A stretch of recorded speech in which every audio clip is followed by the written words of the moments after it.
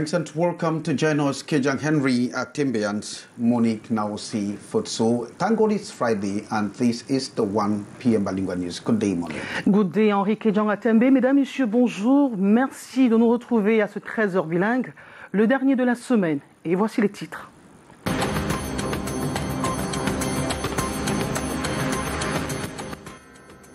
Dix morts de choléra comptabilisés à la prison centrale de Douala ces derniers jours, une résurgence qui intervient quelques mois après une campagne de vaccination dans ce milieu carcéral. From the conflict-ridden northwest and southwest regions of Cameroon as wait for didactic materials for the new school calendar year that is in in the littoral region. Les ressources naturelles de l'Afrique centrale en quête de valorisation, cette sous-région abrite le deuxième massif forestier tropical au monde après celui de l'Amazonie au Brésil. Elle est sous-exploitée, constat fait à l'occasion de la semaine africaine du climat qui s'achève aujourd'hui au Gabon. And Africans prepare to their defense ahead of COP27 as they gather in Libreville to discuss the valorization of Africa's natural capital. Those were our top stories. We are having the news in a split second.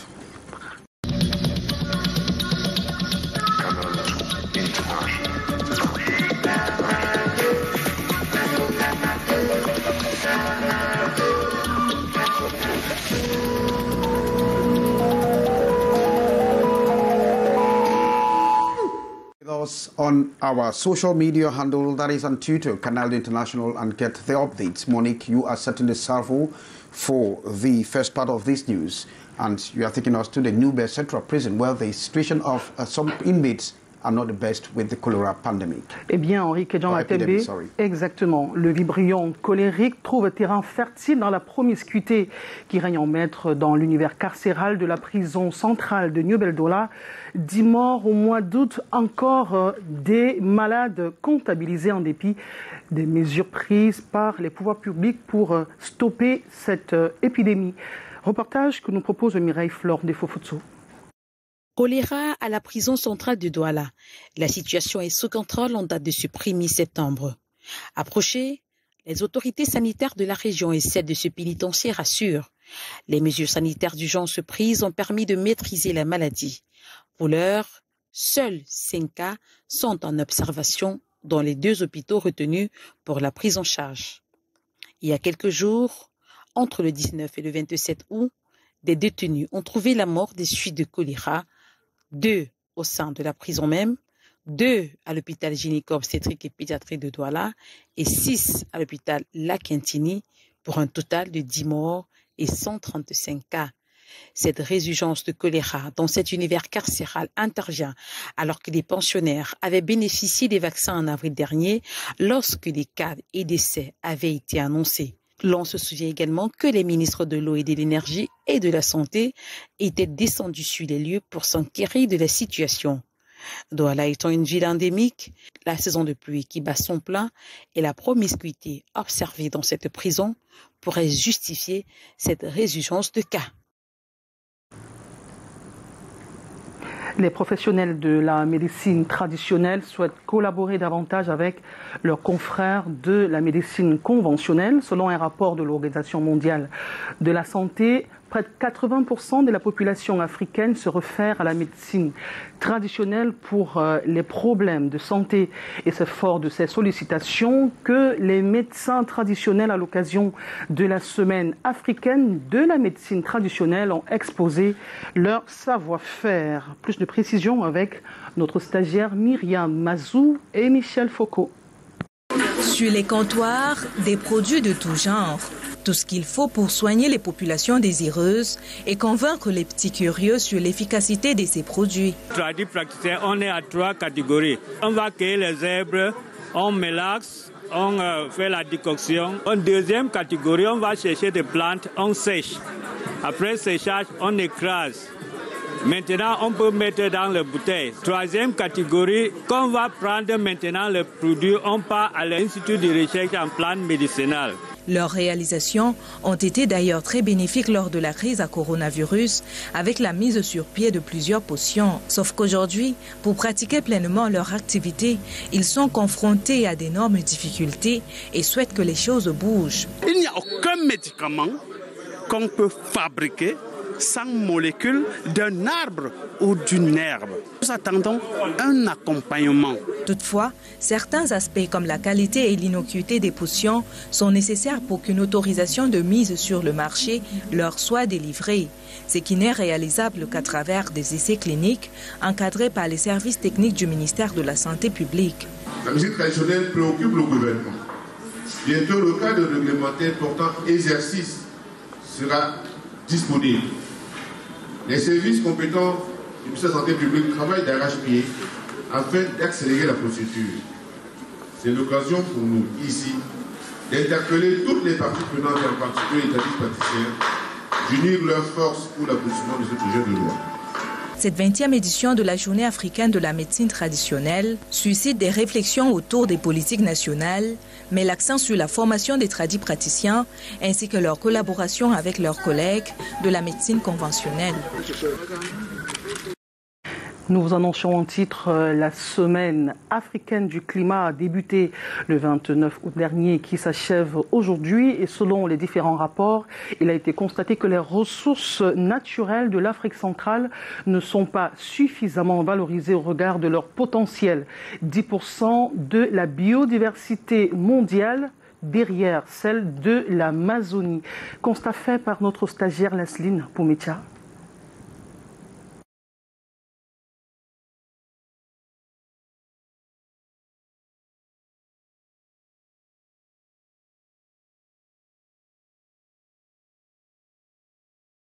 Dans le cours de ce journal, nous signale la réalisation. Henri you have the second part of the news. We begin in Bamenda, that is in the northwest region of Cameroon, precisely in Bamenda 3, where uh, the people, and Bamenda 3, and of course other areas of uh, that town where the people have been lamenting over the age-old problem of floods caused by the low level of the bridge that is linking my three and my four quarters. The local municipality has declined responsibility, stating that the bridge is on the national route, thus the responsibility of the government. Details with Regina Leketanda Curls from Annie Collins in Bamenda.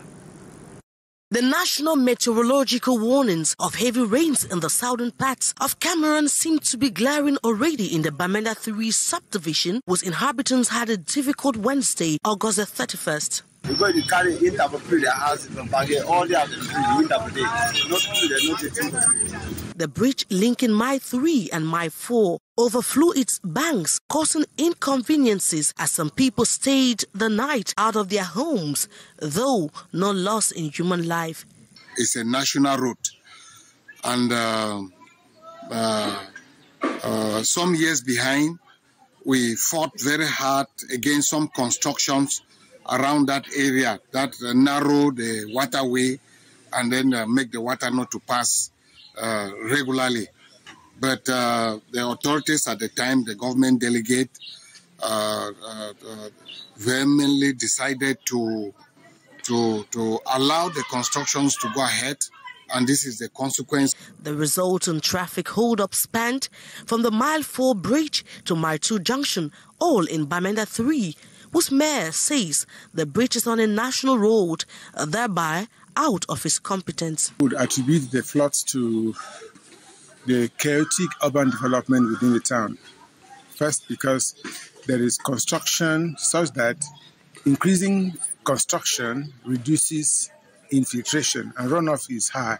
The over half a century old edifice has outlived its usefulness due to the demographic pressure, according to these environmentalists. The almost yearly problem makes news during the rainy season as the floods perturb human and economic traffic flow to and from Boyo, Ngoketunjia, Bui, and Donga mountain divisions.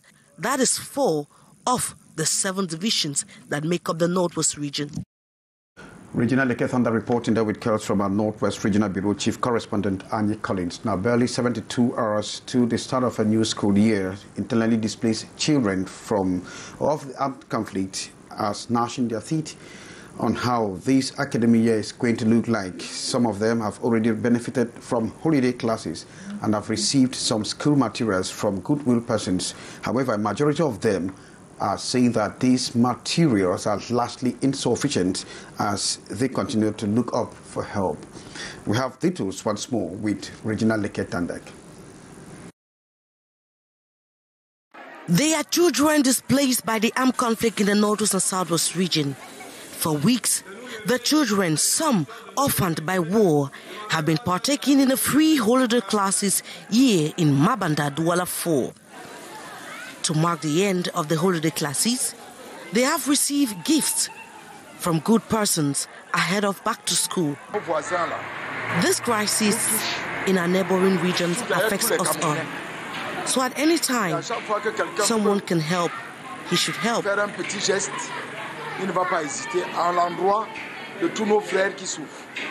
According to UNESCO, more than 900,000 children are out of school as a result of the armed conflict in the Anglophone regions of Cameroon. Figures which, according to other bodies, is doubled. Barely hours to back to school, most of these children are in a difficult position in terms of acquiring school needs. And we still talk back to school with Hyacinthia this time as military orphans have received government support of school equipment ahead of the school academic year come September 5. The children received the different items, including cash support from the hands of the government, as we hear from you, Hyacinthia. Their parents fell in the line of duty during various operations to preserve the territorial integrity and the security of the Cameroonian people. And today, the government can only say thank you through their children with a symbolic support of school items. Of State, Commander in Chief of the Armed Forces, His Excellency Biya, personally sees the legal and moral support and supervision of the families of military personnel who have fallen in the line of duty. The didactic materials and cash aid handed to the children of the Defense and Security Forces here at the Ngwaikele military base in Yaoundé this August 31st by the Minister Delegate at the Presidency in charge of Defense, Joseph Beti Asomo, flanked by other cabinet ministers, is to enable them move from the sad memories and towards building a meaningful future. In these guidance, leverage and opportunities to their children so that in turn they may in the future be authors of development in various positions in the national socio-economic sector. The gesture highly appreciated by the needy children as that which will help cure the back to school fever in their lone parents. Going to help my mother very much because it's not easy. She's alone, paying, paying fees, buying the books and everything. So it's going to reduce her, her financial expenses a lot. The over 100 beneficiaries returning home happily, sure of hitting the school doors this September 5th. I'm Monique Nawusi. We continue with our news, and this time we are talking about hawking in our markets. Yes, Henri incursion dans la vente euh, à la sauvette selon l'Organisation internationale du travail. Le secteur informel absorbe près de 90% de la population active et les vendeurs à la sauvette en font partie. Dans les rues, les carrefours et garages, les marchés, on les rencontre, ils écoulent tout type de produits. Focus dans ce marché avec Marie-Reine Niavoum et Samuel Ebakissé. Acabado. Yona Fapo est vendeur à la sauvette depuis près de 35 ans. Il ne compte pas s'en séparer d'aussitôt. L'activité nourrit sa famille. Nous avons des familles. Actuellement, moi qui vous parle, j'ai une femme et, et de nombreux enfants.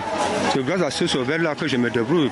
Vendre à la sauvette, c'est aussi avoir la capacité de passer d'un produit à un autre. Le comptoir ou l'emplacement marchand dépend de la saison et du produit. Évoluer, évoluer dans quel sens? Évoluer dans le sens où je varie certaines marchandises, je varie certaines activités. nous bougeons, le comptoir bouge, mais nous restons toujours. L'activité fait face à de nombreuses difficultés, notamment la concurrence déloyale entre apacheurs et sauveteurs ça ne va pas la sauver. C'est presque une exode d'ordre caractérisé. Nos jeunes petits frères apacheurs qui se pointent devant des boutiques, devant des comptoirs, sont même prêts à bagarrer avec leurs parents à cause d'un client. Ça crée donc des tensions et ça devient vraiment très compliqué. L'Association nationale des exploitants à la sauvette du Cameroun, ANESCAM, pense à un encadrement plus sérieux par les autorités. Notre métier, on n'a pas. Il faut maintenant qu'on s'organise pour pouvoir poser des problèmes, faire connaître notre métier poser des problèmes au gouvernement avec nos taux. C'est comme ça que nous avons alors décidé de créer euh, la NESCAM. Nous, nous avons construit la NESCAM pour pouvoir aider le gouvernement à formaliser ce métier. 30 années déjà que les vendeurs à la sauvette sont regroupés au sein de cette association. Des journées portes ouvertes organisées à Yaoundé viennent de marquer le 30e anniversaire.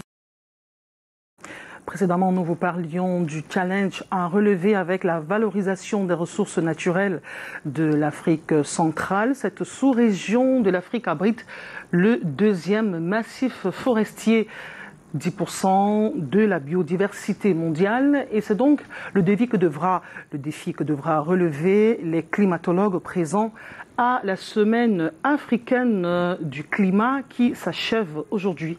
La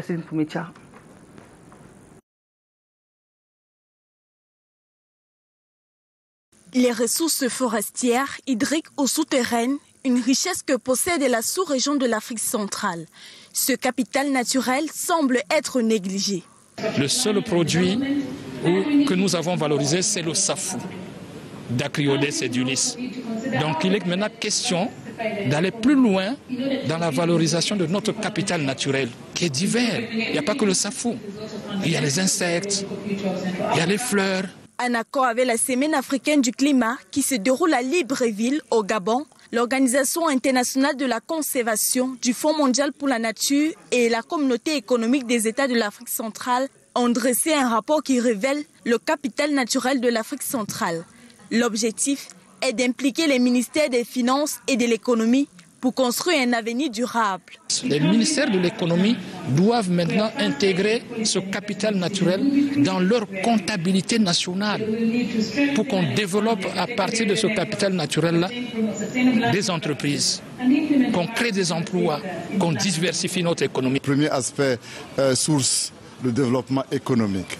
Euh, c'est en fait du cash que nous avons là, de transformer les arbres en cash. Mais encore mieux, de transformer notre capacité de séquestrer le carbone en cash. La Semaine africaine du climat de l'année 2022 offre l'occasion d'améliorer l'action climatique régionale, la collaboration et d'identifier les réponses durables au changement climatique avant la conférence des COP27 qui se tiendra en Égypte sur les routes à l'intérieur de la ville de Douala. Ils sont partout. Ils s'imposent par des actes de violence. Ils tyrannisent les usagers. Il s'agit de certains agents communaux. Au-delà de leur mission qui se limite euh, au contrôle de la taxe communale et de la lutte contre le désordre urbain, désormais ils s'illustrent par la constatation des, infractions routières. Junior Saint Ritinda.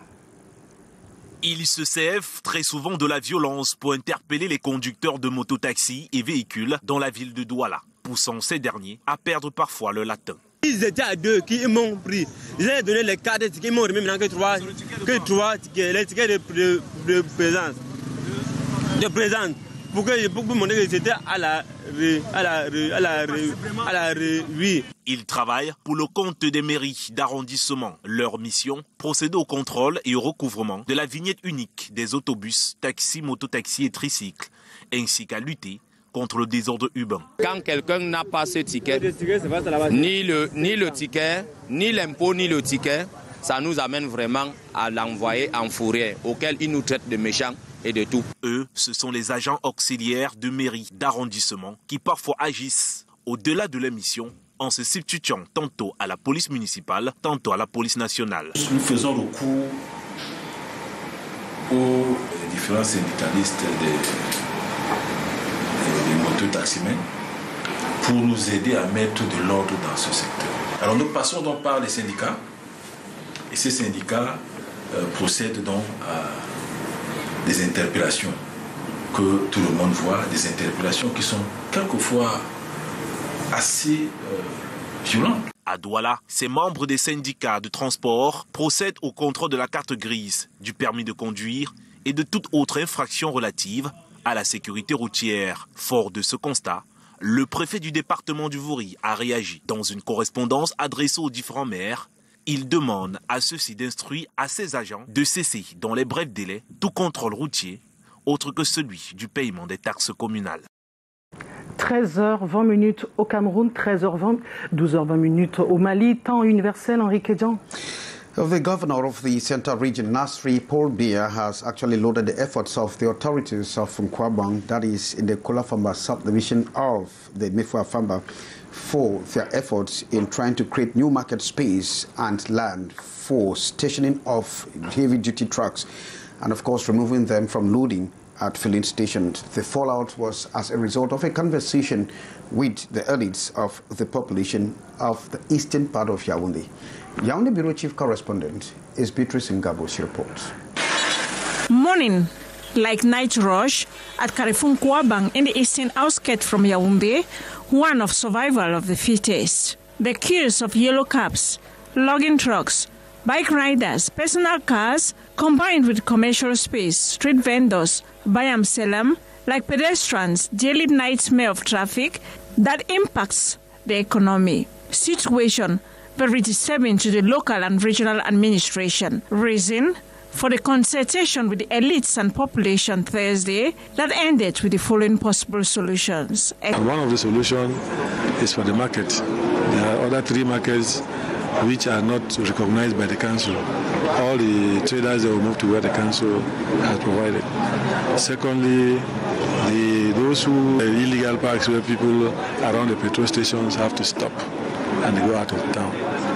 Thirdly, the council has to look for other land to be able to have places where those trucks that carry goods can come and wait till 6 p.m. before the start of loading. The authorities at Kulafamba, Mefu and Afamba division of the central region are to ensure its implementation. The population, the traders have one week to go to the new market. Importance for Governor Nasiri Paul Biya, flanked by his collaborators to reach out to the concerned population at the Carrefour Nkwabang and nearby markets. Saluted at one point, but rejected again by the traders as bad timing on the eve of school resumption. Parce que le gouverneur a fait preuve de venir en Kouabang aujourd'hui, donc nous voulons un marché public. Pour un On ne peut même pas Moi, je n'apprécie pas parce qu'on nous casse le temps de la rentrée. In a month's time, Governor Nassiri Paul Biya reiterates to be back for assessment. Well, thanks, Beatrice Ngama. We stay with you as we are announcing that a reward of for actors who are interested in investing in the health or public health sector has been programmed for November this year, in fact, November 17 to be more precise, and that 50 categories will be part of this issue, and those who are eligible must actually fulfill five criteria that have been laid down by the scientific committee. Details in your report. The scientific committee in charge announces rigid selection this year. Health personnel, training centers, support institutions in media, and more are among the list of 52 categories vying. They need to respect the criteria in place for this fifth edition of the Award of Excellence in Health Leadership in Cameroon. This includes professionalism, respect of ethical and deontological values, innovation, implementation of humanization treatment policy, and more. At the end, they are to come out with those they think are worthy leaders in their respective domains. Task for the regional delegates to come up with a jury to that effect. The decentralization of the process on course. The selection form was under review September the 1st at the Chantal Bia International Reference Center, CIRCB in Yaoundé the scientific committee members ensuring it respects all the norms. About 75 days to go for the Grand Health Leadership Award, the organizing committee emphasized it is aimed at contributing to the improvement of our health system.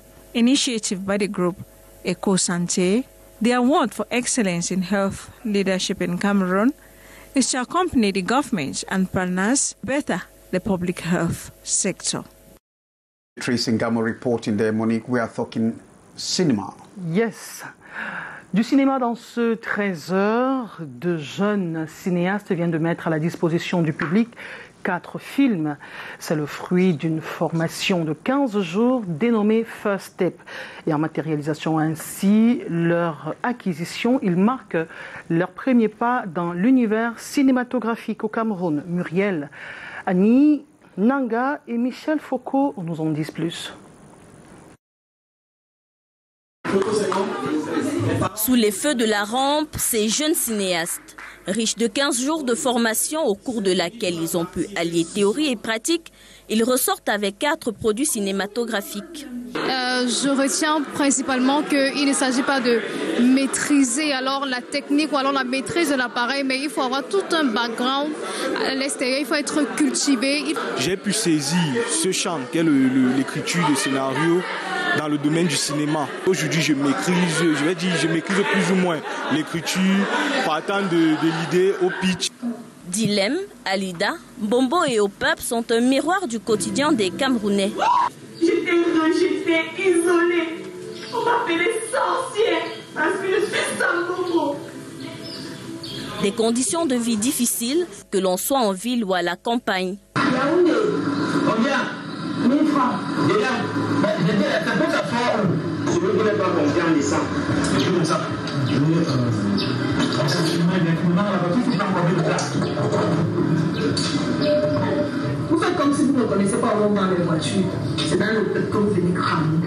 Au total, 27 participants à la deuxième édition de ce projet porté par Inception Articom et Canal Plus University. Quatre noms connus du grand écran ont prêté leur aura à l'initiative. Thierry Léamal, Eric Demtar, Manuela Kamsu et Bethel Peto. ils sont venus avec des idées de films. On a travaillé ces idées de films-là. On a créé les scénarios et ensemble, ils ont préparé la réalisation de leurs films. La QV pourra aussi faire valoir son savoir-faire en montage, script, assistanat de réalisation, réalisation et écriture de scénarios. En sport football, Aigle Royal du Mongo sacré champion du littoral 24 ans après. Et après Stade Renard FC Melon, un autre club du département se hisse à la tête euh, du football de la région du littoral. Les Bleus et Blancs du Mongo ont présenté leur trophée en présence des populations. Et parmi ces populations-là se trouvaient nos correspondants Devarionda et Luciano Ndiakou-Doudou. Après 120 jours de compétition avec 29 matchs disputés au total, les Bleus et Blancs du département du Mungo brandissent le trophée du champion du littoral. Au bout d'une folle série de 21 matchs gagnés, 6 défaites et 2 matchs nuls, Aigle Royal du Mungo a eu droit à la médaille d'or et au trophée tant convoité. Et l'un des chefs d'orchestre de ce sacre, c'est le président Aldolf Seke, un homme ambitieux au caractère bien trempé. C'est une équipe aujourd'hui qui est vraiment parée pour bien représenter la région du littoral. Et, et d'ailleurs, c'est une équipe qui fait l'unanimité. Et nous savons que nous sommes attendus du côté du Limbe. Et je promets tout au peuple du Mongo d'amener cette équipe en élite toute la saison prochaine. Si je l'ai fait avec le Léopard, pourquoi ne pas avec le roi du Mongo? Un sacre bien mérité, mais qui n'entend pas s'arrêter là car les objectifs de l'équipe sont bien plus meilleurs. Après une longue période de tractation et de tumultude, c'est avec une joie débordante que la team de Mpoileux a présenté le précieux sésame au patron du département de Mungo, qui par l'occasion invite les fils et filles du département à soutenir l'équipe pour des résultats bien plus meilleurs. Il faudrait une mobilisation de moyens humains, mobilisation de moyens financiers, mobilisation de moyens techniques c'est l'occasion qui nous est donnée pour lancer une invitation à toutes les forces vives, à toutes les élites du Mungo, à tous les fils du Mungo, du Cameroun et d'ailleurs, de se mettre derrière leur équipe pour que ce grand nom qui a été l'aigle royal du Mungo puisse aujourd'hui se réécrire. nous devons être respectueux non seulement vis-à-vis des institutions de la République, mais aussi et surtout des personnes qui incarnent ces institutions. Une levée de fonds est d'ailleurs prévue dans les jours à venir sur l'étendue du territoire camerounais et même en Occident pour soutenir l'équipe pendant les Interpol 2022. Monique, I think that report brings us to the end of this newscast. We want to thank you graciously for being there with us throughout the week. And of course, uh, wishing all our students a wonderful back to school 2022-2023. From all of us, goodbye, goodbye, Monique. Goodbye, Henrique et Jean Matembe. Merci de nous avoir suivis durant toute cette semaine. Le 13h de ce vendredi entre en gare. Lundi prochain, ce sera le jour de rentrée pour le compte de l'année 2022-2023. Je vous retrouve euh, dimanche à 9h dans le cadre de la rétrospective de l'information sur Canal 2 International. Prenez soin de vous. Formidable week-end.